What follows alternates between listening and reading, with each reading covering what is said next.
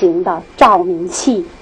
那么正常的一般的场所，我们可以选用开启式的照明器等等。那么根据不同的施工环境，我们应该选用不同的照明器具。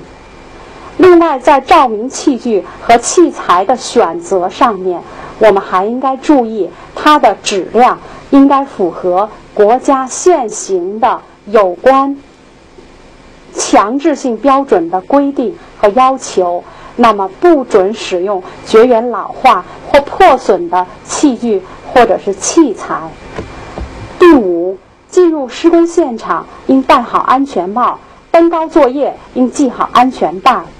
安全帽、安全带、安全网是我们安全生产的三宝，是我们最基本的安全防护的用具。那么，我们的安全帽在使用过程当中，我们要求，首先您购买的安全帽。必须要保证这个安全帽的产品质量，应该有产品质量合格证书。另外，我们的安全帽应该在帽衬和帽壳之间有一个空间。那么，只有有了这样的空间，那么才能够有一个能量的吸收系统。那么，将来发生物体坠落打击的时候，才能产才能对您的头部产生更小的伤害。同时，我们在使用安全帽的过程当中，必须要戴正，必须要系下颚带儿，这样。如果您从高空发生坠落的时候，安全帽才能对您的头部进行更好的保护。另外，登高作业应该系好安全带。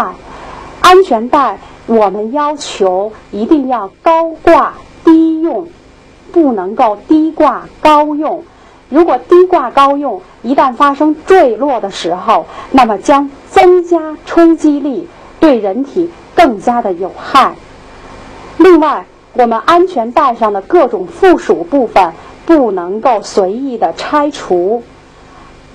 还有，安全带在使用两年后应该抽验一次。一般的，我们安全带的使用年限是三到五年。第二，我们想说一下土方工程施工安全技术。在建筑工程施工中。土方工程受自然条件影响很大，经常会遇到地质土层的变化和雨水和地下水的侵蚀。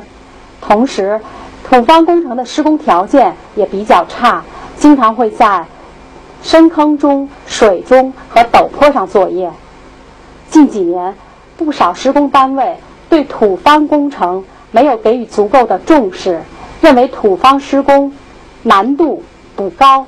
所以施工前没有认真制定安全技术措施，施工当中也没有认真的去贯彻落实各项安全技术要求，因此造成了很多塌方事故和人员的伤亡。所以这种现象应该引起我们大家的足够重视，要抓好土方工程施工当中的安全工作。在施工中，土方开挖主要包含两方面的内容，一个是场地平整，一个是基坑开挖。我们所说的场地平整，就是将需要进行建筑范围内的自然的土地，通过人工或者是机械挖土的方式，变成我们设计所需要的这种场地的平面。以便施工的正常进行。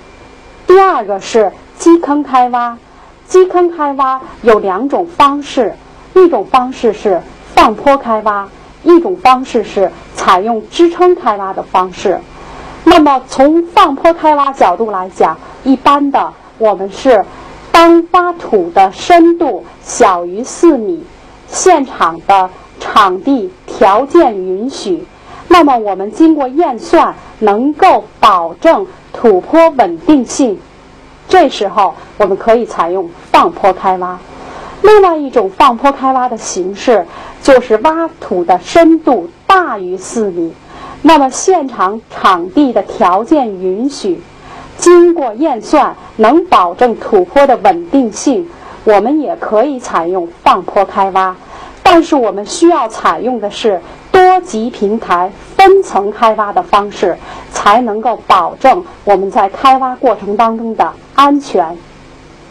第二种呢，是我们采用的是支撑开挖的方式。支撑开挖是针对土体含水量大、土体不稳定、基坑开挖的深度大。